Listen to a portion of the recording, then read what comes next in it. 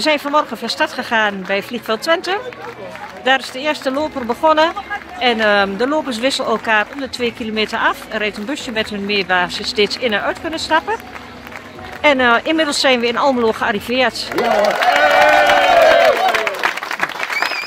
Allereerst eh, ontzettend eh, leuk en gezellig dat jullie ons komen aanmoedigen. We hebben inmiddels al 30 kilometer op zitten. Nog een klein eindje, daar zijn we in Rotterdam. Nog een tijdje. En maandagmiddag zijn we op de Koolsingel. En eh, daar hoop ik ook weer zoveel eh, mensen eh, te ontmoeten in ieder geval. Het is anders dan andere jaren. Anders kwamen we altijd op eerste Pinksterdag door Almelo. Dat vinden wij wel een beetje jammer, want wij zitten nu al een beetje op ons hoogtepunt terwijl we net zijn begonnen. Dit is de laan bezinning in de Gravenallee. Uh, dit is ook om te realiseren waar loop je voor, voor wie loop je, aan wie denk je. Uh, je mag het opschrijven met stoepkreet, wordt meestal gedaan.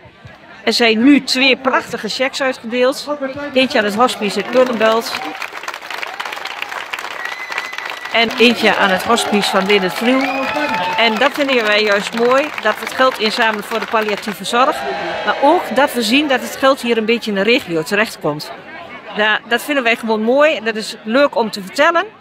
Uh, da daar doen we het allemaal voor. Nu gaan we straks verder, richting het noorden. En uh, we hopen op tweede Pinksterdag uit te komen in Rotterdam.